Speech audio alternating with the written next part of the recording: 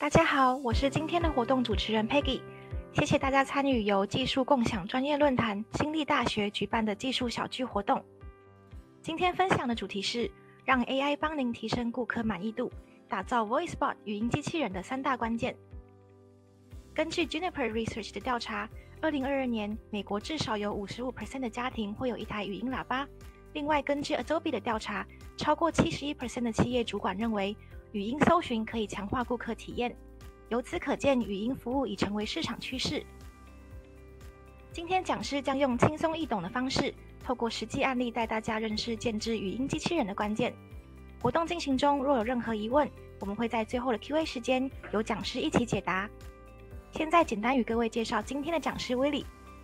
威利专注数据应用科技十七年，能跨领域整合应用需求、领域知识与技术，协助客户规划最佳应用方案，包含智能客服。AI 语音应用、商业智慧、大数据平台等。此外，威利曾负责龙头金控与电信集团之大数据系统专案，推展资料探勘与推荐系统之多元应用至电子商务、零售业与金融业客户。成功案例包含联电、国泰人寿、研华科技与远传电信等。等一下，在活动过程中，若有任何疑问，欢迎随时在对话框提问。我们会请讲师在最后的 Q&A 时间为大家解答。现在我们邀请讲师开始今天的讲座。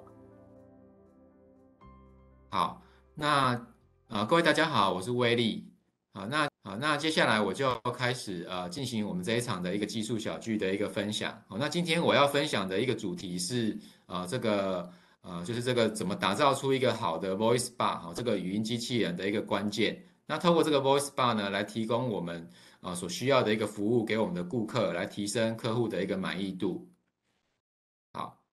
那今天要分享的内容包含四个部分。好，第一个，首先我们会来谈谈这个 Chat Bar 跟 Voice Bar 之间的关系。好，那他们目前发展的一个现况跟未来的一个趋势。那第二个部分就会进入到我们的主题。好，怎么打造出一个好的 Voice Bar？好，那这里面关键的功能跟设计的方法是什么？那第三个部分呢，我们会介绍一些企业应用的一些案例，哦，跟一些功能的一个展示，哦，那第四个部分呢，则是针对大家的一些问题呢，我们来做一些呃互动跟讨论。好，那首先不管 Chat Bar 或是 Voice Bar 呢，他们其实对我们来说都是一种服务的工具，哦，而这种服务的工具呢，呃，也是历经一个演变的一个过程，好，从一开始的这个我们透过电话，好，然后我们透过 email。好，透过这个网站，甚至透过这些社群的平台，哦，我们一路以来都是希望透过一个呃更便利的方式呢，来提供这一个呃更好的服务服务给我们的这个使用者。啊，那到现在呢，呃，我们希望能够透过一个更便利的方式，也就是所谓的交谈式的一个对话，也就是所谓的 Chat Bar 的一个服务，啊，让使用者只要输入一些文字，那我们的这个。缺霸这个机器人呢，就可以了解它的意图，然后提供最好的一个回应。好，那这样的一种交谈式的应用呢，在呃国内外各种不同的产业呢，都已经有蛮多的一个成功的一个案例。好，那这也代表了这种缺霸的一一个应用呢，是真的可以呃带来一些实质上的一些呃效益啊，包含了就是呃能够让我们更有效的去利用我们的人力的资源、客服的资源。好，然后呢，可以让我们吸引到一些呃新的客群啊，甚至可以带来一些收益的一个提升啊，所以这种交谈式的一个应用呢，也是目前呢各个领域的这个呃企业他们都非常关注的一个议题。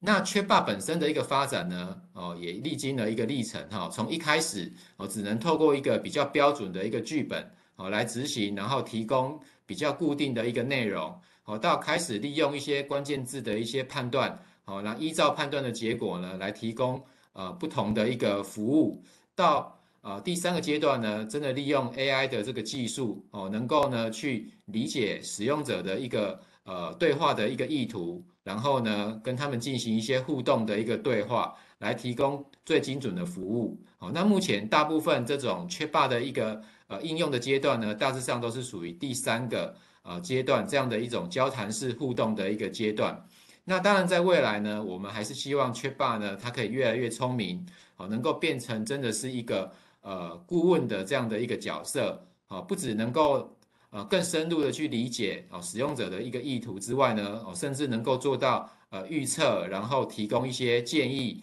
哦，帮我们啊做到一些决策的一个资源，甚至可以帮我们采取一些啊行动的方案哦，比如说结合 RPA 的平台等等。好，那有关这个 Chatbot 的未来的发展，我想在各个不同的一个专家，他们都提出许多的一个呃看法。哦，可是他们不约而同的呢，其实都提到了一个趋势，也就是结合语音，哦，是 Chatbot 未来的一个发展的趋势。哦，甚至是有名的这一个研究的机构，哦，Gartner 呢，他们也呃提出相同的一个看法，也就是说呢，在未来呢，哦，各种的一个应用呢，应该都要考量到这种。呃，以语音方式的呃的这个输入啊的这个功能啊来做一个思考的一个设计，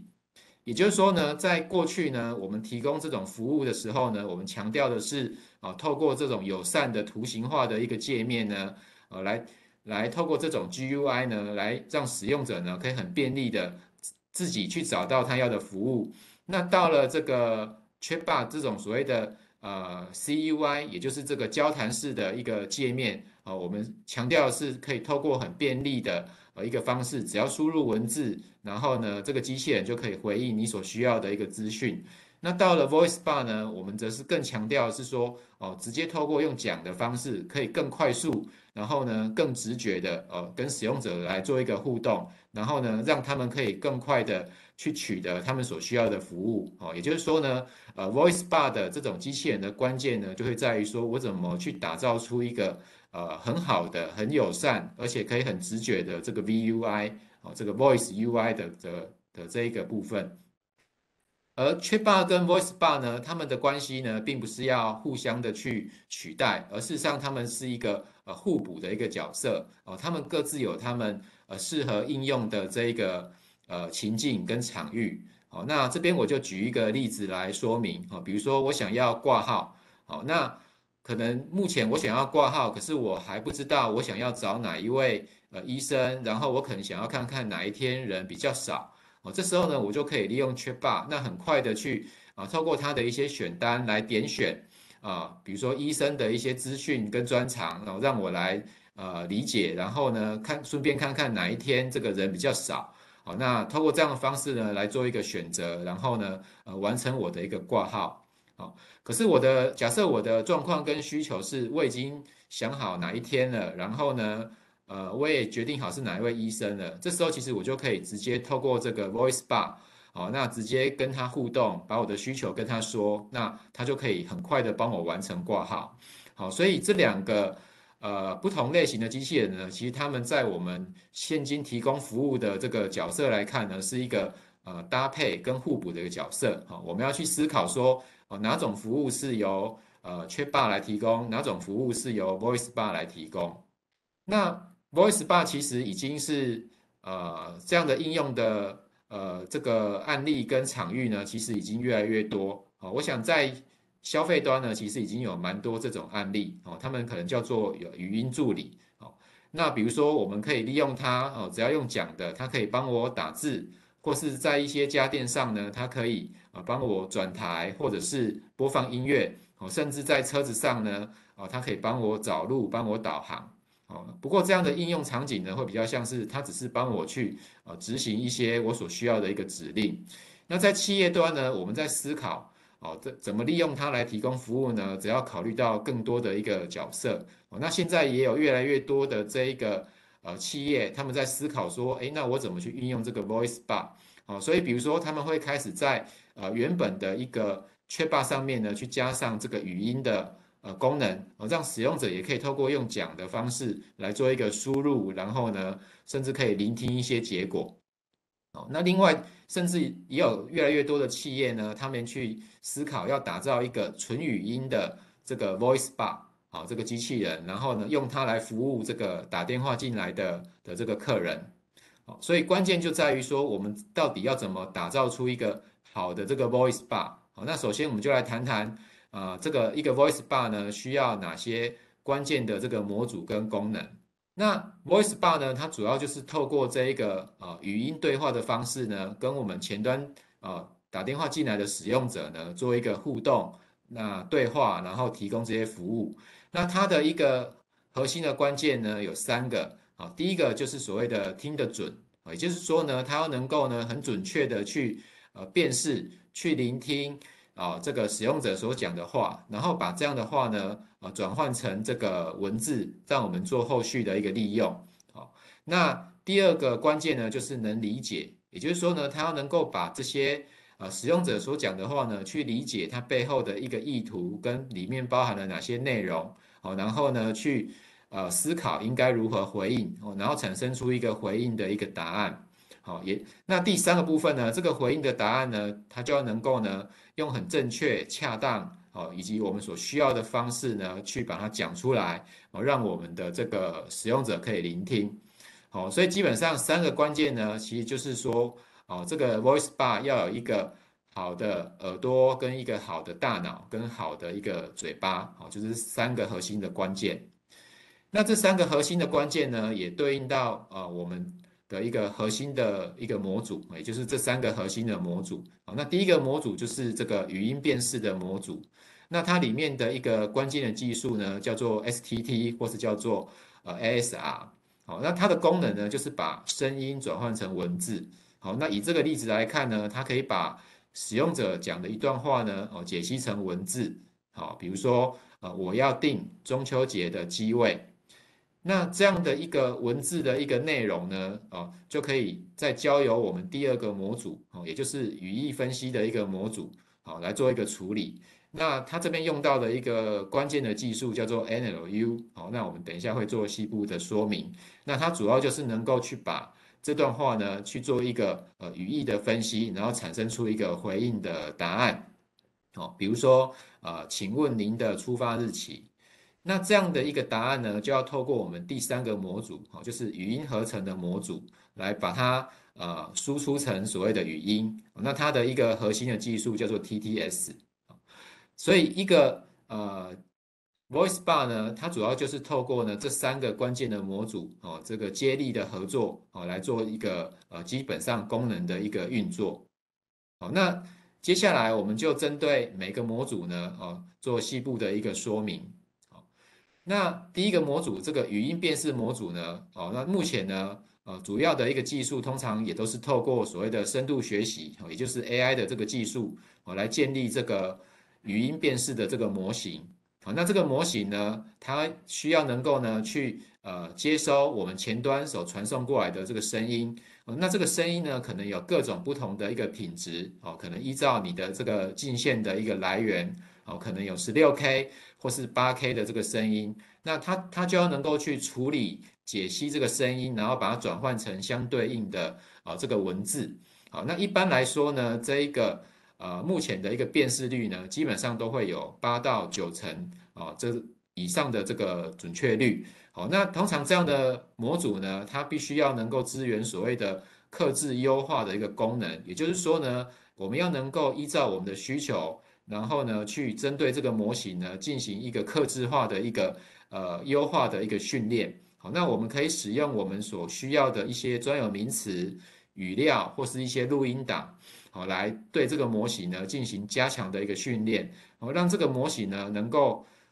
呃强化去辨识我们所特别需要的一些，比如说专有的词汇或是内容，好，来进一步提升我们的一个辨识率。好，那甚至有的产品呢，他们还可以呢呃做到更进阶的处理，哈，比如说针对辨识的结果呢，还可以在进行这个断句的处理，或是补上一些呃标点的一个呃符号，让我们做。呃，更好的一个后续的一个运用，好，那其实这种模组它的一个核心的技术，我想每一家厂商都有它各自的一个呃特色啊。不过基本上大概都会谈到三个呃比较共通性的一个部分啊。第一个是这个声学模型，好，声学模型呢，它主要就是可以呃让我们去解析这个声音，然后利用声波呢去判断出这个音素，好。那通常这边会需要去考虑的是，它能不能处理一些各种状况的声音，啊，比如说你的噪音，你有一些环境音，或是你有高低音，或是你会有这个停顿或是快慢的状况，哦，我们都必须要能够有效的去处处理，然后或解析。好，那当我们解析出这个因素之后呢，好，那接下来就是交由这个语言模型啊去做下一步的处理，也就是把这个因素呢转换成这个呃正确的一个文字。那通常这边的一个需求是要能够去判断这个上下文的关系，好，因为这个文字的内容呢，通常我们会需要判断上下文才能够去决定出最恰当的一个文字，好，就如同这边的一个例子，好，呃，我想要定位晚上七点。那究竟是怎么样的一个文字才是对的？那这个就要看呃我们上下文的一个关系，甚至考量到前后的一个对话，好，这个都是需要去考虑的。那第三个部分呃是所谓的呃文本规整，就是说我可以针对这个辨识后的结果，哦，依照我的需求呢再去做哦进一步的一个转换，哦，比如说以这个例子来看呢，哦，我要提供五趴的优惠折扣，哦，那有时候我会希望这个五趴呢，它可以是啊，这个单数字跟符号的一个五趴，好，那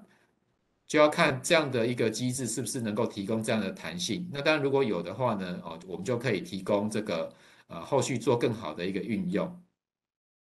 好，那接下来呢，我们做一个呃基本功能的一个展示，也就是说呢，我可以去呃把一个声音。啊，然后呢，辨识成这个文字。好，那等一下我们 demo 呢，我们会有一个声优，啊，就是他会去呃念一段文字，然后我们可以及时的啊去做一个解析跟处理。好，那我们来看一下这样的一个展示。Hello，我是单小美，身份证末四码是二八一九，出生日期是六十五年十二月十一号。我想查 Master 信用卡的可用额度。还有本期账单费用。好，那各位可以看到呢，在刚刚这个 demo 里面呢，呃，我们的这个声优呢，它一边一边念，那其实这个模组呢，它就可以几乎是同步的去做一个辨识结果的一个产生。那同时它可以处理几种状况哈，比如说呃单小美，哦，这是一个破音字啊，或者是像这些身份证字号啦、日期啦，哦，甚至有包含这种中英夹杂哦，master。信用卡哦，这样的一个状况，那这些效果呢，都是可以透过这个模型的一个训练跟这个优化呢来达成。好，那接下来我们进入到第二个模组哈，就是这个语义分析的模组。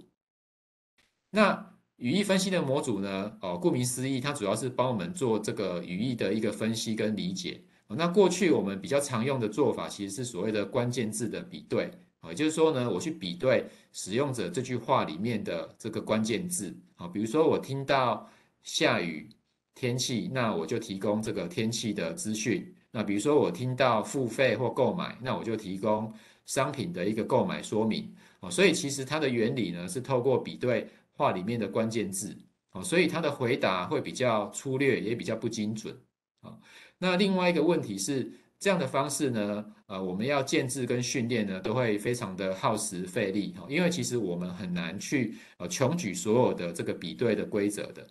啊，所以后来的演进呢，已经进入到使用这个自然语言理解哈，也就是 NLU 这样的一个呃技术哦跟方法，哦，那通过这样的方法的好处是，呃，我们可以识别这个话语的内容跟意图，也就是说，也就是说呢，我们可以去深入的理解这句话里面的意思。那也因为这样呢，我们就可以去回答呃更精确的一个内容。那这样的一种呃方法呢，其实它提供了一种呃系统化的一种训练的方式哦，可以让我们去训练出这样的一种呃模型哦，这样的一种大脑。那这样的大脑呢，它就是可以非常的聪明，可以去应对我们真实人类对谈的一个情境。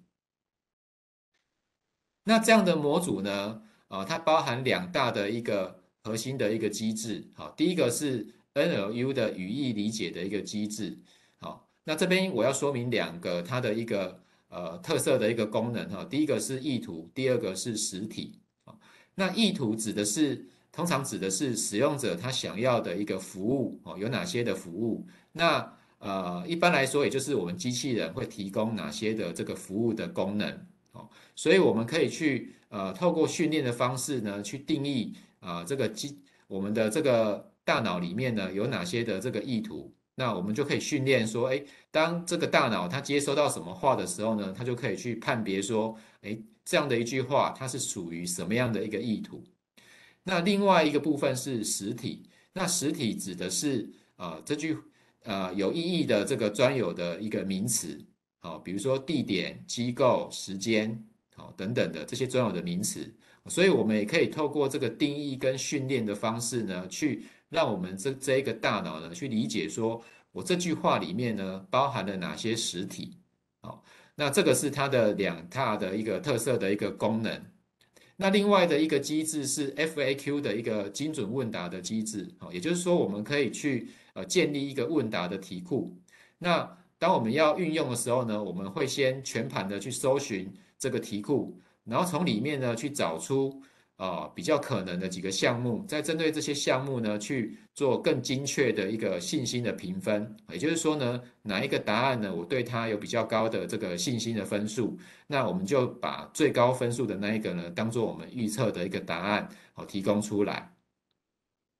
好，那这边我们举一个例子来看，哈，就是一个怎么辨识意图跟实体。好像左边这边呢是我们的这个一个示意的一个界面。好，那比如说今天使用者讲了一句话，好，我要订明天下午到台北的票。那这样的一句话呢，透过我们的这一个模型呢，它就可以做意图跟一个实体的一个解析。好，所以它解析出来这句话里面呢，包含了呃两个时间，好，跟一个地点，好，目的地，好，就是。明天下午，好，这两个时间跟台北这样的一个目的地，然后这句话呢，它有百分之九十五的这个可能性呢，会是属于订票这个意图。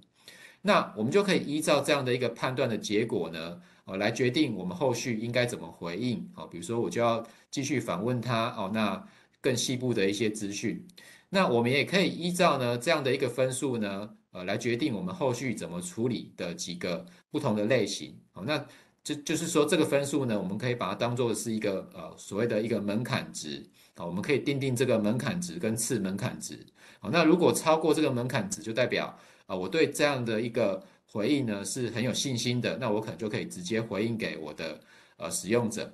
那假设是介于门槛值跟次门槛值中间呢，那可能变成我可能是稍微比较没把握，这时候我可能就要反问或者是说呃做其他的这个处理。那假设是连次门槛值都不告都不到呢？那这时候呢，我可能就要再问一次，或者是说就改由真人来处理。哦，这个就是后续可以做的几种的这个判断。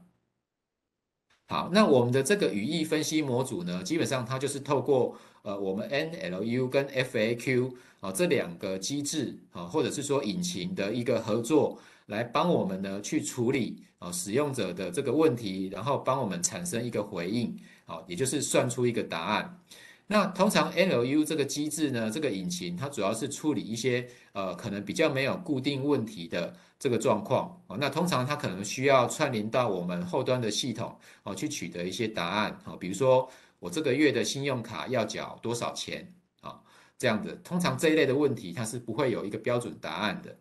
那另外一类像 FAQ，它比较是处理有关这一个。呃，有固定问题的，哦，比较属于咨询类的这个呃问题，好，那比如说呃，这个白金卡有什么样的一个优惠，啊，那这可能就交由 FAQ 这样的一个机制来处理。那透过这两个机制的一个合作呢，啊，那我们算出来这样的一个答案，或者是说可能要再反问，啊，或者是说信心分数太低的话呢，呃，我们改由这个真人来接手，哦，这个是大致上的一个。呃，整个模组运作跟处理上的一个流程。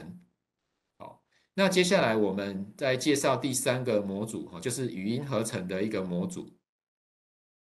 那这个模组基本上它的功能呢，就是把呃我们所需要回应的这个文字呢，把它呃转成语音。那这边的需求当然是要能够做到呃这个语音输出的语音呢是非常流畅跟自然，那就好像真人一样啊，而不是说像。一听就很像这个机械机械人的声音。哦，所以这边的需求呢，就是要能够提供很多元的这个效果的这个参数哦，让我们去灵活的使用。哦，甚至是可以依照我们的需要呢，去克制这个呃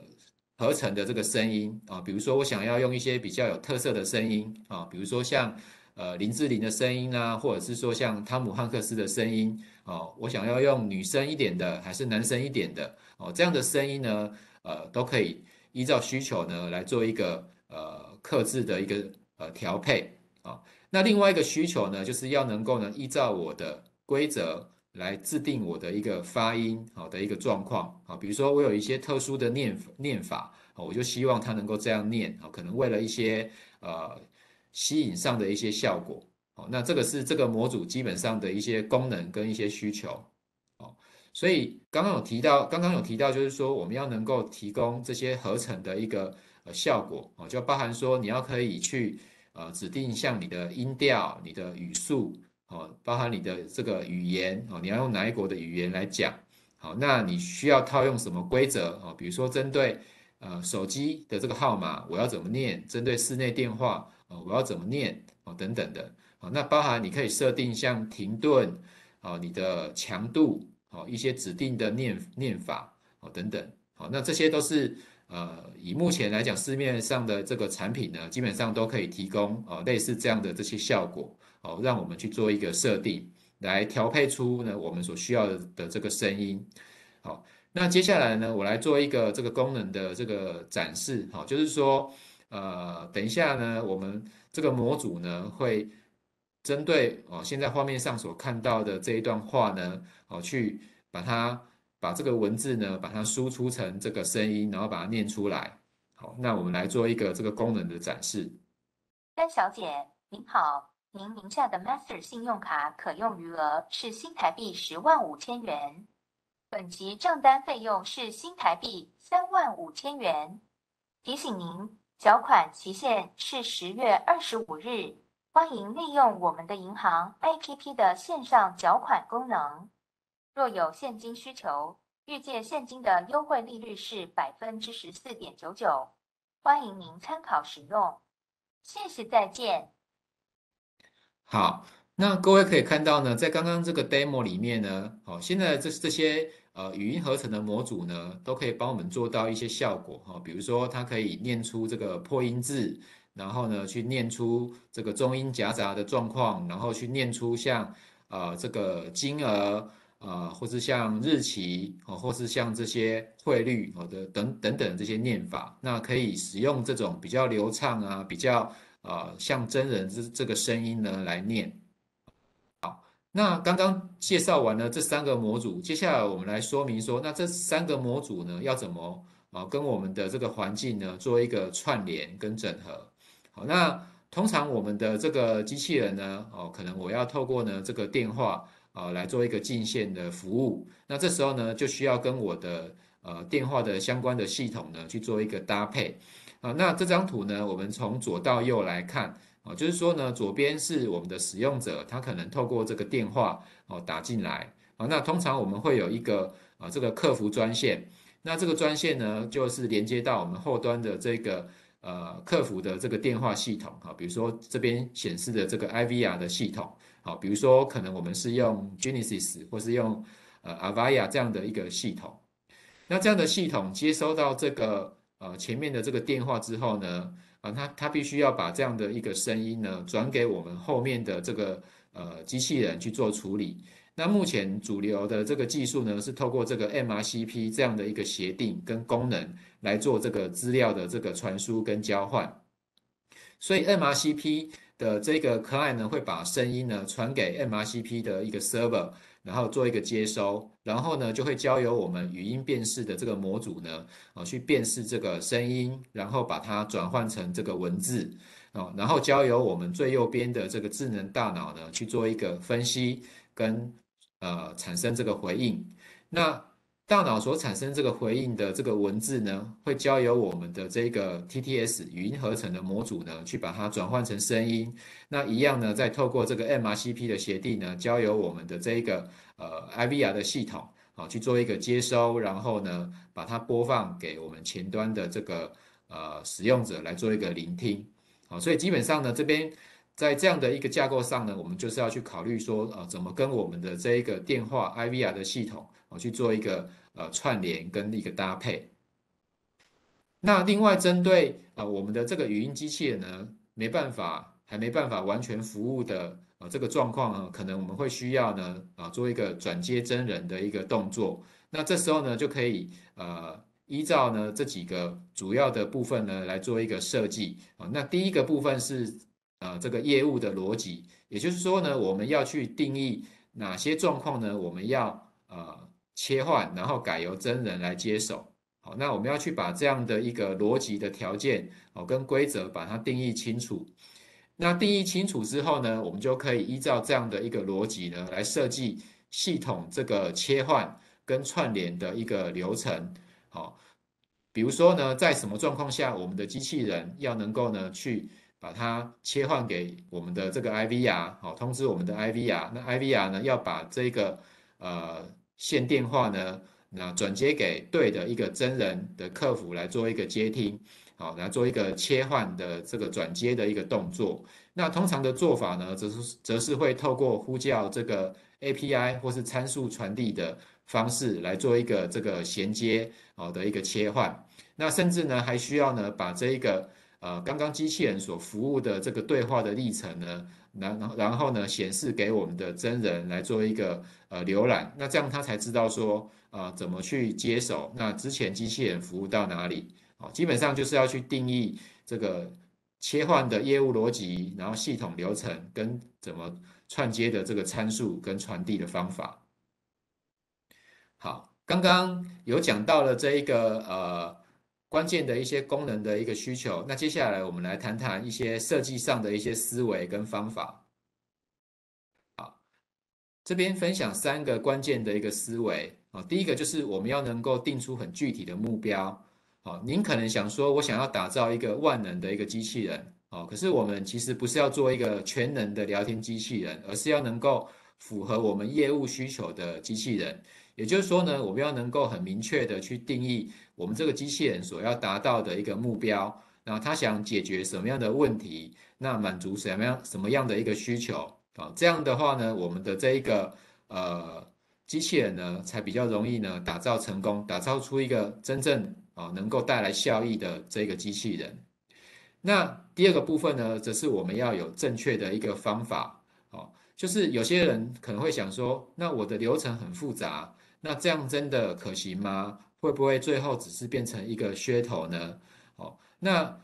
其实由各种国内外的这个案例呢，其实可以显示，其实。啊，不管是 Chat Bar 或是 Voice 霸呢，其实在各个产业呢，都已经有越来越多的这个成功的案例出现哦。所以我想关键是在于说，我们是不是有啊采用到正确的一个方法哦。那如果我们有采用到正确的方法哦，那其实会鼓励大家，我们应该要勇于尝试，勇于创新啊，来啊做这样的一个设计。那所谓对的方法呢？啊，就是第一个，我们要采用真正 AI 的这个演算法跟技术。哦，那唯有透过这样的技术呢，打造出来的机器人呢，它才能够呢，呃，聪明的去理解使用者的一个意图，而不是呃，透过这些关键字的判断。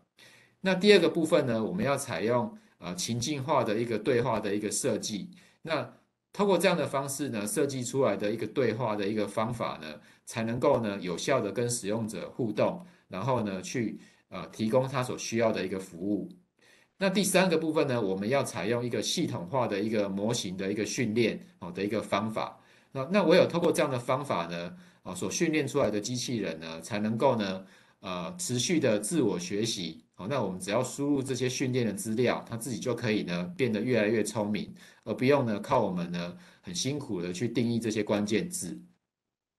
好，那再来，当我们在打造这些机器人的时候呢，啊，我们可能会请厂商来协助。好，那这边的他呢，啊，左边这边的他呢，指的就是厂商。哦，那是不是厂商一次做好上线那就好了？哦，那其实不是。啊，上线之后呢，其实才是挑战的开始。哦，因为上线之后呢，我们的机器人呢才会面对各式各样的不同的挑战。那有些可能是我们之前哦没有特别去想到的这些需求。哦。所以一个呃这个 voice bar 呢要能够好呢，它我们要能够持续的去梳理哦我们 AI 的这个模型，然后新增这些好的呃训练的一个资料哦，准确度才能有效的提升。也就是说呢，我们必须要透过一个很完整的一个工具，然后才能有效的去支援我们在后续维运哦跟训练上的这些作业，哦让我们呢可以呢很有效率的去。啊，持续的去训练跟优化我们的这些的这一个机器人。好，那分享完这个关键思维之后呢，我们就来谈到底要怎么做。那第一步呢，啊，就是要能够去啊设计跟定义我们机器人所要提供的这个服务。那通常这边建议的做法呢，是我们可以参考我们呃实际上的一些业务流程，啊，跟呃如果有相关跟客户的一个对话，哦，可以从这边呢去做一个归纳，啊，那当然也是依照我们的目标，然后去呢去从这里面去归纳出啊我们要提供哪些服务。然后呢，可以去思考说这些服务会有哪些的操作行为啊？比如说我是要订票，我是要退票哦等等的这些操作行为。然后呢，我这些服务呢会有哪些呃细部的这些项目跟内容哦？我们可以去透过这样的方式呢，去把这样的一个服务呢逐步的去定义出来。那定义出来之后呢，呃，接下来就是要针对每个服务呢，我们去设计。它的一个 VUI 哦，就是这个 Voice 的呃 UI 啊的这个界面。那设计的方法呢，哦，可以参考啊这四大阶段来做一个呃规划跟设计哈。第一个阶段呢是所谓的使用者研究，也就是说呢，我们我们要针对每一个服务呢，去大致的去归纳出使用者的这个情境以及它的呃使用上的这个从头到尾的这一个步骤。也就是所谓的使用者的旅程，我们要能够先初步的去把这样的一个流程呢勾勒出来，然后呢，借由这样的过程去呃会诊哦，使用者可能有什么样的一些问题，那他们可能有什么样的需求要满足哦，那假设呃市场上已经有类似的这一个服务或功能，我们也可以参考哦，可能不一定是竞争者，或是可能我们类似的这一个。呃，厂商呃，或是企业他们所提供的这个服务，那我们可以去参考他们的一些做法，哦，或是实际使用上的一些评论，那看看啊，有一些什么样的一个呃规划的一个方向。那第三个部分呢，则是要针对啊，我们这个机器人在这个服务里面呢所扮演的角色呢去做一个设计啊，比如说我们的机器人呢在这个服务里面呢。它扮演的角色是属于什么样的一个类型啊？比如说，它是属于比较这个主导型的，好，比较属于能够主动引导的啊，还是说呢，它是比较属于辅助性质的，好，只是比较被动的提供一些资讯哦，这个都是可以去依照需求去做一个设计。那另外一个部分呢，就是他在这样的一个服务底下呢，哦，他要我们希望他能传达出什么样的形象啊？也就是说，他所要使用的这个语音。哦的，这个感觉呢，是一个什么样的一个呃形象的一个感觉？那通常这边呢，也要去考虑到我们的一个受众啊，就是我们使用者他的一个口音的习惯啊，比如说他们习惯呃听什么样的口音，习惯讲什么样的口音。那第四个阶段呢，就是要针对。哦，刚刚我们所做的这个初步的使用者的研究呢，这这个旅程呢，啊，去做更细部的一个互动的一个设计，哦，也就是对话的一个设计啊，那就包含了从触发，然后引导，哦，聆听，哦，到后面的这个回应这样的整个细部的一个过程，哦，那把这样的一个细部的呃流程呢，更细部的去设计出来。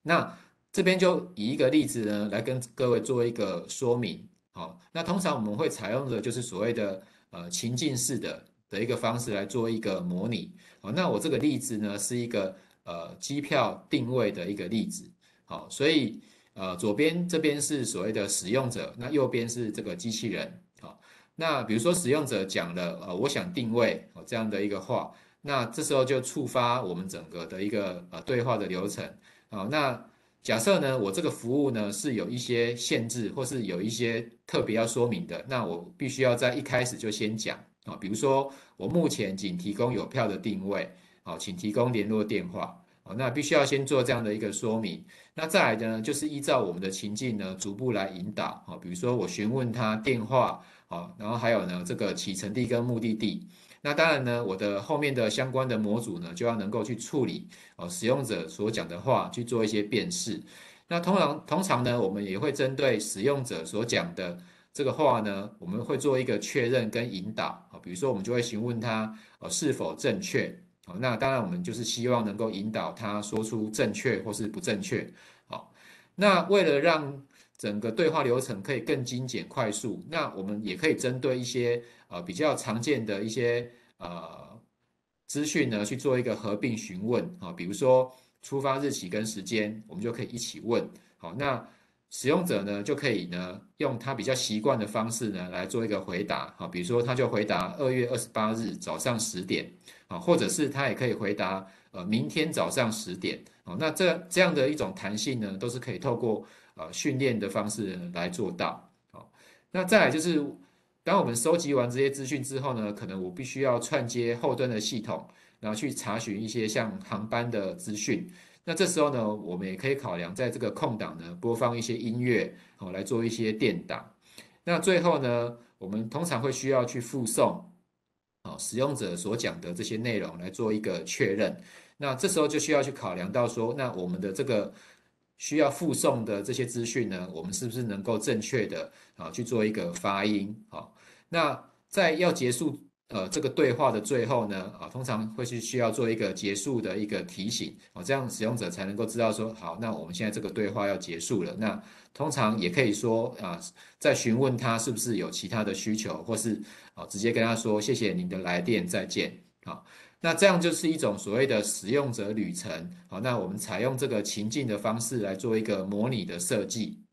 那大致上有这样的一个情境模拟设计出来之后呢，好，接下来就是我们可以呢再更细部的去设计我们这个机器人的大脑、耳朵跟嘴巴。好，那针对大脑的部分呢，我们就可以依照哦刚刚我们所啊，归纳出来的这一个呃，这个情境里面好的相关的意图跟实体啊，我们去啊做一个定义跟训练啊，所以我们会输入跟这些呃实体跟意图啊相关的这个语料好，来让大脑去做一个学习啊，比如说呃，今天台北会下雨吗？啊，我们会输入类似这样的一个语料，我让使用者去训练说哦，当他听到这样的类似的一个语句的时候，他就知道说。哦，它是跟天气查询是有关的。好，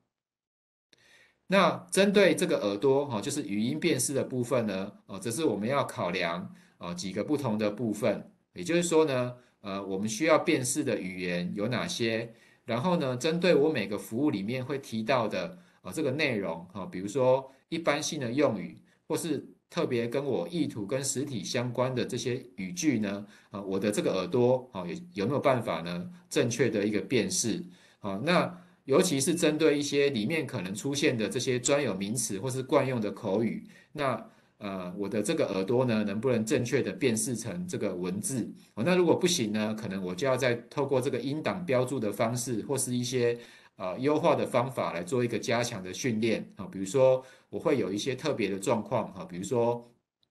中英夹杂或者是一些讲话的口音，那这个些都是可以透过一些呃后续的一个训练跟优化，让我们可以正确的去处理好这些呃各种不同的一个状况。好，那第三个部分则是机器人的的嘴巴，好，就是这个呃语音合成的部分。好，那这个部分呢，就是我们要打造符合我们品牌形象的一个专属的口音。好，那这边则是要去考量说，那我们所需要的语言啊，那我们能不能够正确的把它讲出来？那音调、速度，哦，跟这个声音的特征，哦，是不是能够符合我们的需求？然后我们每个服务里面呢，会提到的这些内容，哦，比如说姓氏、数字、金额、年代。哦，等等，这这些需求，我们能不能够准呃准确的发音？哦，甚至是针对这些呃特定领域的这些念法，哈，比如说专有名词或是我们的一些习惯的用语，哦，都要能够呢依照我们的需要呢，呃，正确的把它念出来。哦，这些都是我们在呃设计上所要去考量到的一个部分。好，那假设现在我们要开始一个啊这个建制这个语音机器人的专案。那这边提供一个规划的一个脉络哦，给大家做一个呃依循上的一个参考。好，首先就是我们要去定义啊我们的这个目标跟问题，好，以及要厘清我们的这个使用者哦，包含哪些人，那他们有什么样的一个特性，以及为了达到我们的目标跟问题，他们会需要什么样的一个服务。那这些都定出来之后呢，我们就可以相对的去呃规划。好，机器人应该要提供怎么样的服务？同时呢，我们要针对呢，呃，每个服务呢，去评估我们的一个语料的现况。好，因为我们会需要这些语料呢，好，跟这些资讯呢，来帮助我们训练机器人，或者是作为机器人回答的这个答案。那通常呢，我们可以从呃我们公司内部的像 KM 系统、SOP、呃客服的问答，或是呃比如说客服的录音档啊，来做一个呃来源的参考，来评估说，那我收集这些语料，那呃会需要呃多久的时间，那够不够啊等等的来评估。那接下来呢，就可以再更细部的去呃采用所谓的情境模拟的方式呢，去针对。呃，每一个服务呢，去做一个更细部的设计，那我们就可以去定义出哦，哪些服务可能是由 Chat b 提供，那哪些服务是由这个 Voice Bar 来提供，或者是说 Voice Bar 能够提供到什么样的一个程度？好，那哪些状况会是由真人来接手，或是我们可以去定义机器人的服务时段？哦，这个都是可以去做一个规划。那到这边呢，其实我们已经有一个大致上的一个脉络。那接下来呢，就可以再更细部的去做比较技术面的一个设计。那包含就是我要串接哪些内外部的系统来取得呃部分的一个答案，以及呢我的流程上呢是不是会有一些呃配套的流程啊，比如说发送简讯啊，或是呃检视付款的这个资讯等等。那我也可以大致的去勾勒一下啊，我预计的建制的时程，那是不是要分阶段？哦，以及我要采取什么样的一个系统的架构哦，跟我要采用什么样的工具跟产品，哦，那依循这样的方式呢，我们就可以逐步的去把呃我们的这个机器人呢做更细部的一个规划。那这边提到呃这个产品跟工具的部分呢，就会对应到我们的一个开发的一个需求。也就是说呢，通常我们会需要呃去使用一个开发的工具或平台。那要开发出一个这个好的一个 Voice Bar 呢，这样的一个开发的平台呢，哦，就必须要满足几个部分的一个需求。好，那它要包含我们刚刚提过的这些核心的这个功能跟机制，哈，比如说 NLU、FAQ，哦，或是这个多轮对话，哦，以及像是语音辨识、哦，语音合成的这些功能。那同时它也要能够去整合我们的一个电话的系统。好，让我们呢，让我们的这一个机器人呢，可以串接这个前端的这个各种管道的这个进线的来源啊，以及能够串接我们后端的这个系统的一个资料。那另外一个部分的重点呢，就是在这个维运的部分。哦，就是他们要能够提供呃很便利的这个维运的工具，哦让我们可以做到这些呃后续的这个维运跟管理。啊，包含了大脑模型的管理。语音模型的管理，哦，系统平台的管理，哦，以及要提供一些统计的分析的报表，让我们可以去掌握我们的机器人服务的一个状况，哦，服务的成效、服务的满意度，哦，等等，啊，比如说它是不是有一些这一个呃对话是比较听不懂的，我们可以把这样的一个对话，啊，比较不足的部分呢，去把它查询出来，那。透过这样工具的一个意义呢，就是说，让我们后续呢可以持续的去针对机械机器人呢做一个呃优化。那通常来说，这样的一个优化作业呢，呃，会比较建议还是由我们的客户呃这个使用者呢自行来做这样的一个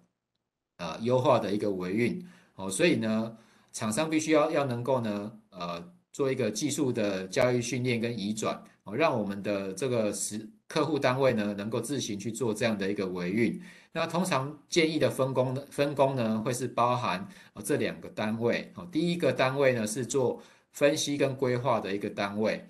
哦，那他们要能够去检视我们机器人的一个对话的记录跟呃服务上的一个成效，那能够知道说哪些状况是机器人比较不能够处理的啊，也就是比较听不懂的，啊，那他们才能依照这样的一个。呃，结果来分析跟规划啊，我们后续优化的一些需求。那通常他们也会负责去整理像 FAQ 跟一些意图相关的这些语料的资料。那第二个单位是负责开发跟维运的单位哦，那他们会需要负责这个大脑跟语音模型的一个训练哦。那当然这个部分呢，比较专业的训练也是可以呃委由厂商来做一个配合。那再就是他们要负责做这些对话功能的一个设计跟开发，好，以及这个呃系统的这个上板跟监控的管理，好，所以一个机器人的服务呢，要能够。呃持续呃提供好的一个服务呢，其实都会需要这两个单位哦的一个密切的一个合作哦，我们机器人的服务呢才能够提供的好，提供的久。好，那第三个部分呢，我们就来分享一些呃使用上的这个案例以及我们会做一些呃情境上的一个 demo。那第一个案例呢，跟大家分享的会是一个呃近线语音导航的一个案例。那这边指的这个近线的导航呢，就是说通常像现在我们打电话到客服专线，哦，可能这个系统会回应你说，呃，A 服务请按一。那 B 服务请按二，它会透过这样的方式哦引导你去按按键，然后来选择服务。那当我们使用了这个 Voice Bar 之后呢，其实我们就可以由 Voice Bar 呢来扮演啊这个第一线的一个角色。也就是说呢，Voice Bar 呢在第一线跟使用者互动，然后直接询问啊他所需要的这个服务。那使用者呢就只要直接讲出他需要的服务，那后续呢就交由这个机器人来做一个判断跟处理。那后续的判断呢，大致上会分成这四种状况。哦，使用者讲了我想缴费，那机器人可能没办法去一下子厘清他真正的意图，因为我我并不晓得你所指的缴费是要缴什么费。好，那他就可以再反问他说，请问你是要缴信用卡费吗？那后续再跟使用者做一个更细部的一个厘清。哦，那比如说使用者讲了，我想查信用卡红利点数。好。那这时候机器人已经可以很明确的判断哦，这是我的一个服务的范围，那他就可以继续呢往下服务好，那做一个引导啊，比如说他就说，请说出你的信用卡卡号哦，那后续就是透过这样的流程呢去提供使用者所需要的服务。那第三个状况呢，假设使用所使用者所讲的这个服务呢，并不是目前机器人它有办法处理的范围，好。或是项目，那它其实就可以串接回原本的一个作业的方式，哈，比如说串接回原本的 IVR 的流程，那等于是交由 IVR 这边的系统来来做一个接手，那透过原本的方式来服务使用者。好，那第四个部分呢，就是假设使用者讲的一些敏感词，或是使用者讲的话呢，啊，机器人真的听不懂，那这时候呢，它就可以改转接由专人来做一个接手。啊，来做一个服务，那这样的好处呢，其实是可以呃有效的去替我们节省一些啊这个人力，然后呢也可以节省这一个呃客户等待的时间。哦，那通常这样的做法呢，因为不涉及太多细部的流程，那我也可以呢呃做很少的异动，就可以很快的建制，然后呢快速的展现效益。那第二个部分呢，则是谈谈各种啊应用的一个场景，就是说呢。这种 Chat Bar 或是 Voice Bar 呢，其实在呃各种产业都已经有蛮多的这个应用哈，比如说在呃一般我们日常生活上会碰到的这一个金融的这个领域啊，这这个部分好，那呃就已经有蛮多的这个单位，不管是银行、证券或是保险哦，他们就是呃都利用这样的方式呢。呃，来提供这个语音的这个机器人的这个服务哦，像这个例子来看，就是一个呃信用卡的这个例子哦。因为银行其实像以银行来说，他们有蛮多的这个服务哈，比如说台币、外币、信用卡，甚至有保险等等。那我们也可以呢，依照不同的呃状况需求，依照我们的状况呢，来逐步的去规划机器人所提供的服务。好，所以像这个例子呢，它是先提供这个信用卡。的这个服务，所以我们可以看到呢，右边这边服务的项目呢，就包含了哦这一个呃机器人啊所这个能够提供的这个服务的项目，好，所以我们可以看到呢，其实有蛮多的项目，其实都是现在的这个语音机器人都可以提供了啊，包含这个权益呃红利点数，哦申办进度的查询，哦甚至包含这个道路救援啊，或是你要查额度，你要做线上开卡。甚至补记账单等等的啊，这些呃，其实蛮多的服务都是现在的这一个呃语音的机器人都有办法呢来做一个服务的提供。那另外一个跟我们息息生活息息相关的就是这个医院啊，就是健康的部分。那现在其实也有蛮多的医院呢，他们开始采用哦这个 Chat Bar 跟 Voice Bar 哦来提供这个服务啊。那尤其是在这个 Voice Bar 的部分呢，哦他们就可以透过这个 Voice Bar 呢来提供包含了这个近线跟外拨的这个服务。那比如说在近线的部分呢，哈，可以可以提供像这个挂号，然后呢这个病床的查询哦，甚至你要安排检查哦，他也可以帮你安排。那你要异动哦，也可以协助你，或是你打进来想要转接哦，它还都可以协助。那接下来我来做一个呃实际上的一个情境的一个展示哈，就是我们用一个呃医院的一个挂号哦的一个例子呢，来跟各位做一个说明。好，我是医院人工智能客服人员，请说出您需要的服务院区，例如零或。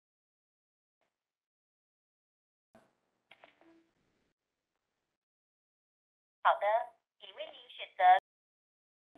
请问您需要什么服务呢？例如挂号或是病床查询。我要挂号。问您有没有转诊单呢？没有。问您要挂哪一科哪一位医师？肠胃科。告诉我您要挂胃肠肝胆科哪一位医师？是都可以。陈博焕。问您要挂哪一天？例如十二月四号早上门诊，不是都可以。九月三十早上的。告诉我您的证件号码。例如身份证字号或病历号，一一二二三四八五二二。好的，您的身份证为一一二二三四八五二二，问是否正确？正确。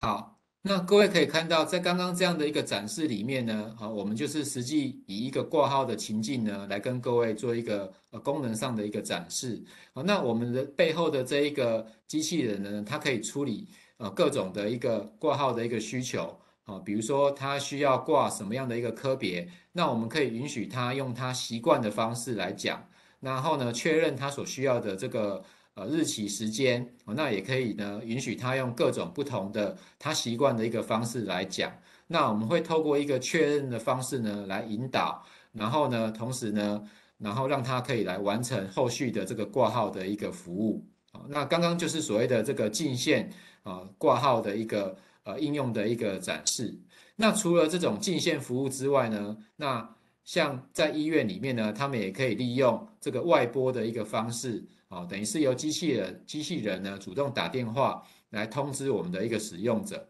那来做一个这个外拨的通知，哦，包含了这个住院的通知，哦，停改诊的通知，门诊手术的通知等等。那现在现在因为疫情的关系呢，哦。医院都需要去询问使用者相关的这个 TOCC 的这个咨询哦，比如说旅游史啊等等。那这些的询问呢，也都是可以改由机器人来做一个主动的询问哦，来节省我们相关的一些呃人力的一个投入。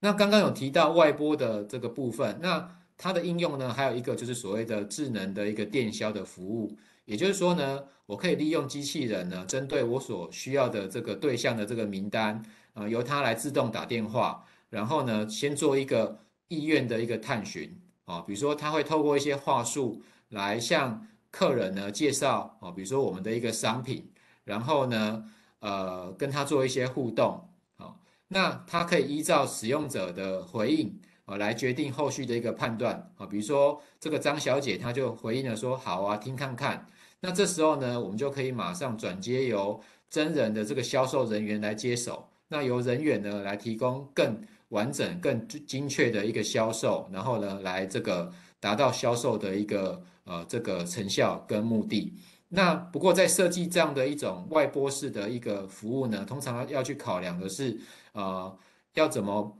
样用比较顺畅的方式来跟使用者互动啊，因为毕竟我们是主动打电话给使用者，所以也要考量。一些使用者当时接电话的一些状况啊，如果我们判断说这样的状况其实不太适合再继续往下，好，那我们机器人呢就要主动呢能够结束，那避免造成客户的一些呃比较不好的观感跟反效果。那这个是在设计这种外播式的服务的部分呢，需要特别去注意的地方。好，那第五个情境呢，呃，则是呃我们要呃可以采用一些所谓的整合简讯的一个方式呢，来做一个流程的一个串联。啊，因为我们的语音的机器人人呢，通常它是没有画面的，哦，所以假设我们后续有一些配套的流程呢，我们可以透过寄发简讯的方式呢，来引导使用者。让使用者呢可以逐步的往下，好，所以像以这个例子呢，我在左边好可以看到我是要申请一个扣款，那这时候就需要有一些呃资讯来提供，那这时候呢，我们就可以跟使用者确认他的一个电话，然后呢，把这样的一个简讯呢发送给他，那使用者收到这个简讯之后呢，他就可以看到我们所要提供给他的内容，他可以点选或是做相关后续的一个操作。哦，所以通常语音机器人呢，会是需要搭配哦其他的一些辅助性的流程来完成我们整个业务上的一个作业。那通常简讯呢，会是一个呃比较常用的一个做法哦，提供给大家参考。好，那以上就是呃跟大家分享今天的一个内容。好，那我们再把这个时间呢交还给我们的主持人。谢谢威利今天丰富的讲座内容和应用情境分享。欢迎大家填写会后问卷。就会收到本次讲座的简报与影片回顾连结。接下来是我们的 Q&A 讨论时间，我们会解答大家于报名前询问的问题，以及在讲座进行中留下相关提问。也欢迎大家在问答结束前将想问的问题打在对话框中。好的，想请问呃，想请教威利，我们收到第一个问题是，请问语音机器人能否用于初期创业？好。呃，针对这个问题呢，其实它并没有一个呃标准的一个标准的一个答案啊，而是说呢，我们要依照我们的情境呢来做一个设计。那通常我们在呃这个创业的初期呢，我们可能要去考量的是我们的这一个呃我们的服务哦，是不是能够很具体的去呃定义出来。以及我们相关的这个所要回答的语料呢，是不是足够充足啊？那如果这这些条件都具备的话呢，其实应用在创业的初期呢，啊也是可以的。那另外一个状况则是可以去考虑呢，在创业的初期呢，通常我们可能会需要的是啊，能够去做一个流量的一个吸引啊。这时候呢，我们可以呢，是由我们的机器人呢来提供啊，跟行销比较相关的这个。呃，宣传或者是相关的这个服务，来替我们呢，呃，吸引一些这个呃新的流量跟这个使用者的这个关注，好，那所以其实是可以应用在这个创业初期的。好，以上是我的回答。好的，谢谢威利。那我们进入下一题，请问威利，企业导入后有办法自己维运吗？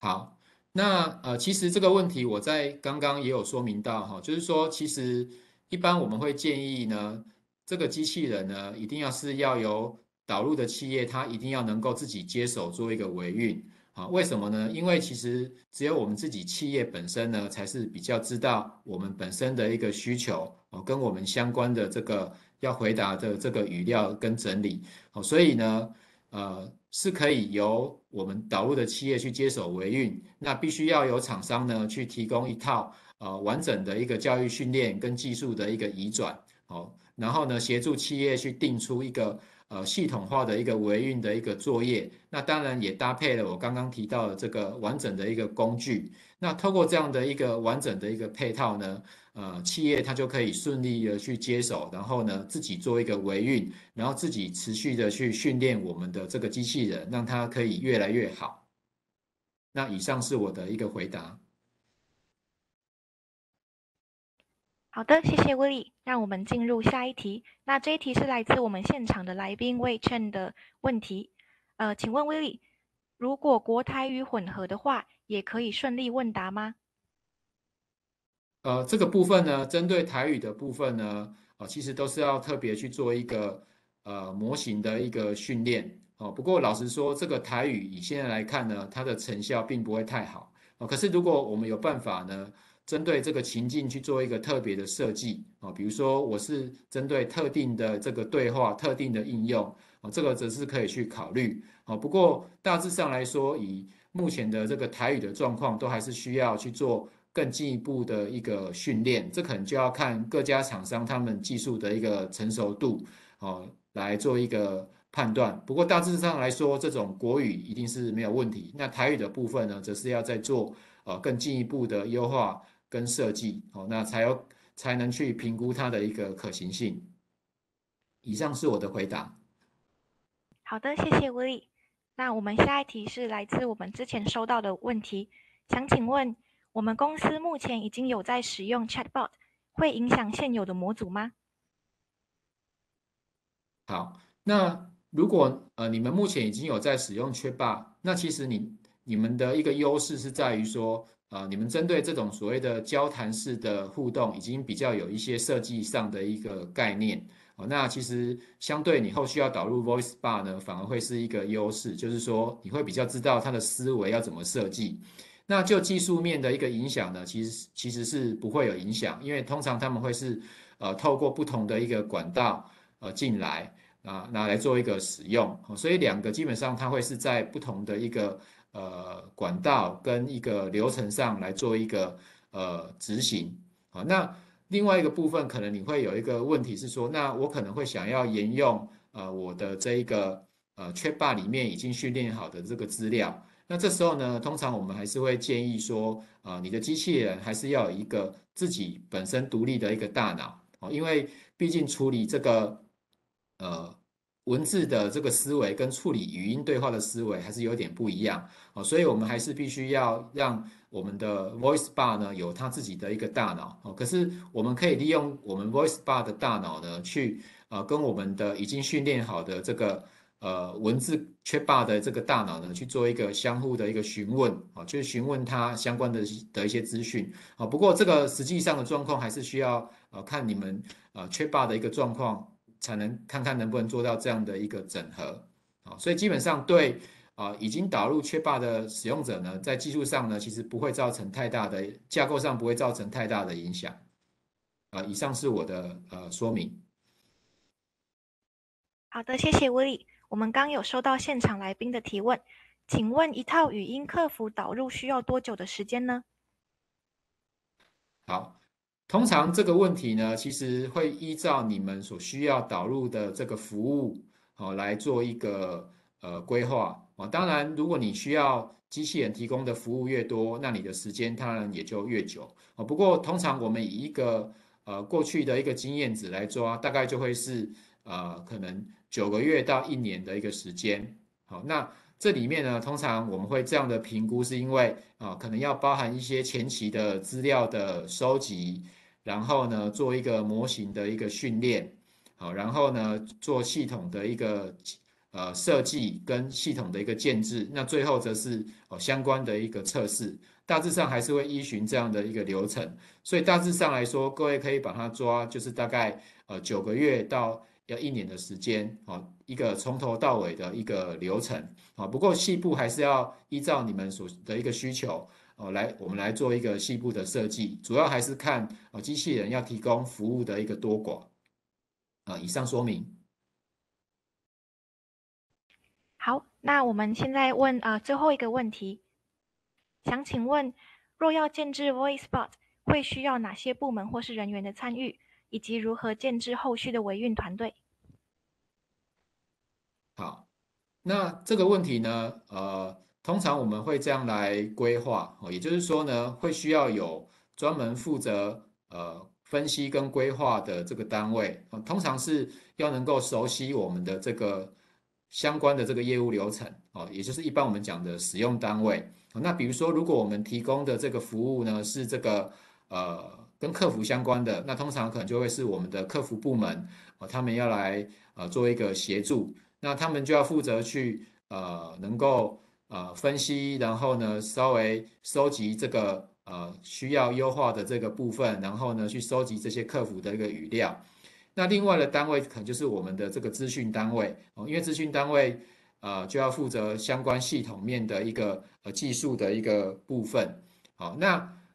不过在资讯单位这个部分呢，还是要依照呃不同的公司而有不一样哈，因为有的公司他们的资讯单位比较呃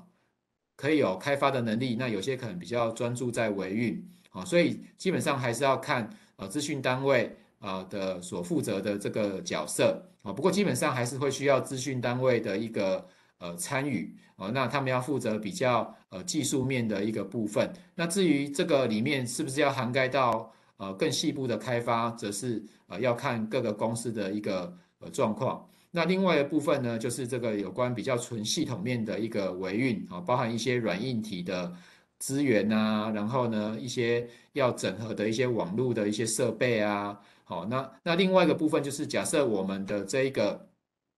呃语音机器人呢，有涉及到我们的一个电话。好，那就会需要相关的部门也参与，哈，就是负责这个维运这个呃电话系统的这个部门来一起参与，让让我们的这个整个流程呢可以做一个串接。那在后续的一个规划上呢，则是说，呃，我们要有呃人可以去呃能够做一个机器人的使用状况的这一个呃分析跟查询，那我们才知道说，那机器人哪些。呃，对话或是哪些状况、哪些服务比较处理的不好，那我们要透过一些工具的方式来协助我们。然后呢，呃，再就是我们要有人可以做到这个模型的一个训练。那这个部分呢，还是要依照每个公司的状况，那它的是不是能够有配置的人力？那如果没有的话呢，这个部分也可以委由厂商来提供这个模型的一个训练。好，那也可以委由厂商来提供呃后续的一些类似优化的一些见解。好，我们可以请厂商呢来协助我们做到这些呃机器人的这个优化的一个检查，来帮我们看看这个机器人有哪些地方需要做一个优化，那让我们后续可以呢呃持续的把这个维运做好。好，那以上是我的一个说明。好的，谢谢大家踊跃的提问，也谢谢讲师的回答。如果没有其他问题，那我们的 Q&A 时间就在这里告一段落。我们今天的技术小局已接近尾声，请大家扫画面上的问卷 QR code 或点选对话框里的连接，给我们一些活动回馈，并留下您的联络方式。我们会将简报和连接寄给有回复问卷的朋友，请务必留下联络方式，不然会收不到连接哦。在这里与大家介绍一下，我们是新力资讯，是台湾少数拥有自主研发量能的企业软体产品公司。我们拥有自有产品 API 及了管理平台。AI 智能客服、RPA 流程自动化、多样化解决方案，如 BPM 跟先买后付，同时也提供客制化专案和资讯人力委外服务，服务产业横跨金融、保险、政府、医疗、交通、制造业等产业。近期我们更收获了台湾精品奖与中小企业创新研究奖等多项海内外大奖，是企业数位转型最信赖的专业伙伴。邀请大家追踪我们的技术共享专业论坛新力大学。今天大家参加技术小聚是由新力大学主办的活动，我们会不定期分享不同主题，也欢迎追踪我们的活动通页面以及 Facebook 粉砖，就不会错过最新活动消息。想了解最新科技，也欢迎订阅我们的部落格，我们会不定期更新趋势文章。最后，我们也强力招募各方好手，详情请上 FB 搜寻 TPI Thinker 或上一零四都有最新的职务介绍哦。今天的技术小聚到这里，谢谢大家今天的参与，我们之后的技术小聚见，拜拜。谢谢大家，拜拜。